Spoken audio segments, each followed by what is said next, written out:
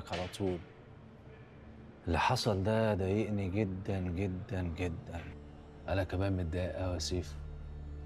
كويس إن أنت كمان متضايق مش أنا متضايق لوحدي.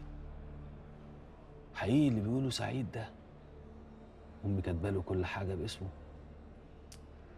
أنا مش عارف أتعامل معاه. انصحني يا سيف. قول لي أعمل معاه إيه؟ أنت ممكن تكون فاهم سعيد أكتر مني. اتعامل معاه إزاي؟ طاطي. إيه؟ زي ما بقول لك كده يا دكتور نبيه طاطي. العند بيجيب عند وتنشيف دماغ. فإحنا نعمل إيه؟ تطاطي. لحد ما الريح تعدي. وبعدها خد ودي. إيه الكلام اللي أنت بتقوله لي ده؟ أنا راجل دايركت. بحب أكون واضح. أنا ما بعرفش أعمل الحاجات اللي أنتوا بتعملوها دي. أبسطها لك يا دايركت. أخوك سعيد هو اللي راكب وماسك اللجام وبيجري زي الرهوان ومحدش فيكم هيعرف يحصله. يبقى إحنا نعمل إيه؟ نشغل دماغنا ونتذاكر نركب وراه وواحدة واحدة ناخد اللي إحنا عايزينه. بعد اللي حصل ده أنا مش هبقى عارف أتعامل معاه. ما تقلقش. صدقني هينسى.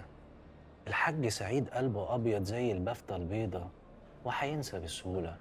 بس انت خلي كده نيتك صافية وقلبك طيب واطلب منه اللي انت عايزه.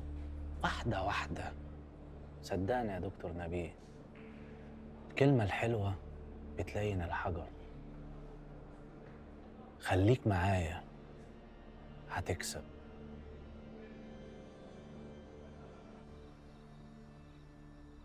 خش برجلك اليمين. بسم الله.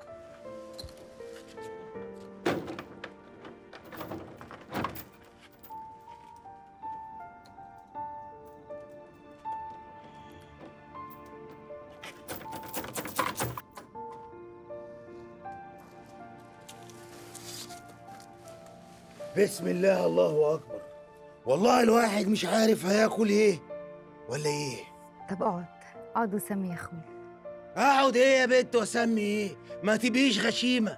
الأكل ليلة الدخلة خطر على العريس. اللهم صل على النبي. توكلنا على الله. يا رب. الهوى من عندك يا رب.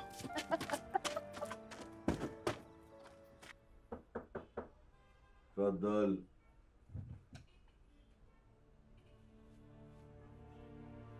بقول لك إيه؟ انت لو جاي بزعابيب امشير بتاعتك أنا مش فايق لك خالص. لا أنا مش جاي لك بأي زعبيب. أنا جاي عشان نقعد نتصافى ونتفق من غير مشاكل مهما كان برضو إحنا اخوات. ليه الكلام الحلو ده؟ نتصافى. ومهما كان إحنا اخوات كلام جميل. أنا خلاص قررت ان أنا اسافر.